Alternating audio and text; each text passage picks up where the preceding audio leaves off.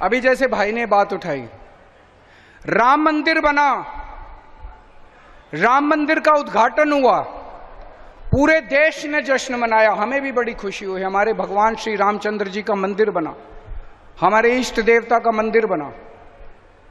लेकिन उस मंदिर का उद्घाटन किसे करना चाहिए था? राष्ट्रपति को, प्रधानमंत्री को भी होना चाहिए था, हम इसकी वो नहीं करते। लेकिन उसका उद्घाटन राष्ट्रपति को करना चाहिए था कि नहीं करना चाहिए था?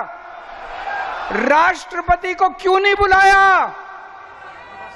राष्ट्रपति को क्यों नहीं बुलाया? क्योंकि वो आदिवासी है। क्योंकि वो आदिवासी है, इसलिए नहीं बुलाया राष्ट्रपति को। आपका इतना अपमान करते हैं मोदी जी। आपको राम मंदिर में नहीं बुलाते। आपके नेता को जेल में डाल देते हैं। अभी भी अगर चुप रहोगे तो ऐसे ही दमन होता रहेगा। 25 मई 25 मई 25 मई, इस बार अगर एक भी सीट झारखंड से आई, अगर मोदी जी की एक भी सीट झारखंड से आई तो ये दमन और बढ़ेगा आने वाले समय के अंदर। मोदी जी सिर्फ़ आपसे डरते हैं। और हेमंत सोरेन जी, वो जेल में रहेंगे कि बाहर आएँगे, ये आपके ऊपर निर्भर करेगा। अगर आप लोगों ने कमल का बटन दबाया तो हेमंत सोरेन को जेल में रहना पड़ेगा।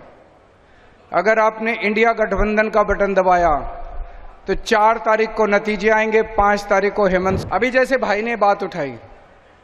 राम मंदिर बना। राम मंदिर का उद्घाटन हुआ। पूरे देश ने जश्न मनाया। हमें भी बड़ी खुशी हुई। हमारे भगवान श्री रामचंद्र जी का मंदिर बना।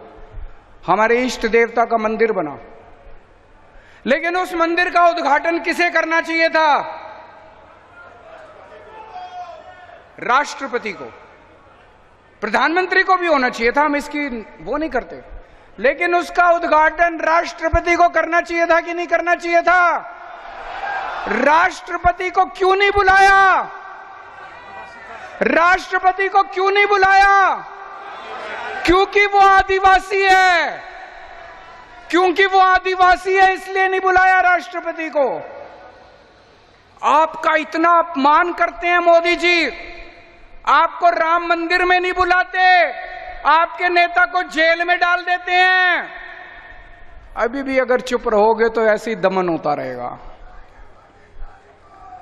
25 मई 25 मई 25 मई, इस बार अगर एक भी सीट झारखंड से आई, अगर मोदी जी की एक भी सीट झारखंड से आई तो ये दमन और बढ़ेगा आने वाले समय के अंदर। मोदी जी सिर्फ़ आपसे डरते हैं। और हेमंत सोरेन जी, वो जेल में रहेंगे कि बाहर आएँगे, ये आपके ऊपर निर्भर करेगा। अगर आप लोगों ने कमल का बटन दबाया तो हेमंत सोरेन को जेल में रहना पड़ेगा। अगर आपने इंडिया गठबंधन का बटन दबाया तो चार तारीख को नतीजे आएँगे, पाँच तारीख को हेमंत